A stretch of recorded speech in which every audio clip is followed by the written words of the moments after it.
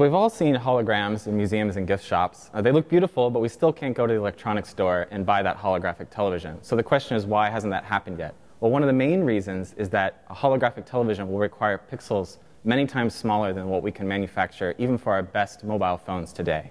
And so what we're trying to do in our laboratory at MIT is develop a 3D display technology that uses today's dominant display technology, which is liquid crystal panels, uh, in a way that can create a beautiful 3D scene like a hologram. As we move from two-dimensional displays to hyperrealistic multidimensional displays for 3D, for light fields, for multispectral, and lighting-aware displays, the bandwidth requirements move from gigabytes per second to terabytes per second. But by using compressive displays, we can exploit compression not just in software, but also in optics and bring those bandwidth requirements within manageable limits. So what's our secret sauce? Well, if you look at the natural 3D world, uh, say a white wall, it turns out as you move your head back and forth, that wall doesn't really change. And so what we do is we take compression algorithms, like you'd have in your digital camera on our DVD or Blu-ray. We look at the world, we identify these redundancies, and as a result, we can actually use liquid crystal panels with those large pixels uh, to create beautiful 3D scenes that almost reach the quality of holograms today. Here, the prototype is assembled in the directional backlight configuration. The front LCD layer sits atop a directional backlight, which is obscured while assembled.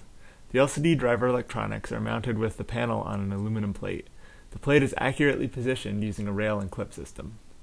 From the side, the location of the directional backlight, composed of a uniform backlight, LCD, and lenses, can be more clearly seen behind the front LCD. Because of the close layer spacing allowed by the directional backlight design, our two-layer prototype has retained the thin form factor of an unmodified LCD panel. We now compare to the three-layer tensor display prototype. In this configuration, three LCD layers are illuminated by a uniform backlight. We choose a larger layer spacing to demonstrate the flexibility of the tensor framework and to avoid moire interference without the need for custom holographic diffusers. Displayed 3D images are perceived without any flickering, but when filmed with a high-speed camera, the temporally varying tensor decompositions are clearly visible for each of the three layers. So I think with new research, you always want to ask, why is this relevant now? And for us, we're taking advantage of two big trends in display hardware and graphics hardware. So the first is really high-speed display panels. And this lets us uh, show a bunch of frames that your eye adds up together as a single coherent image.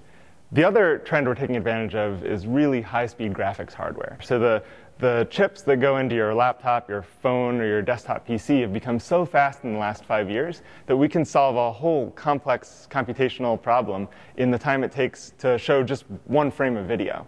And this has enabled a whole new way of thinking about 3D display.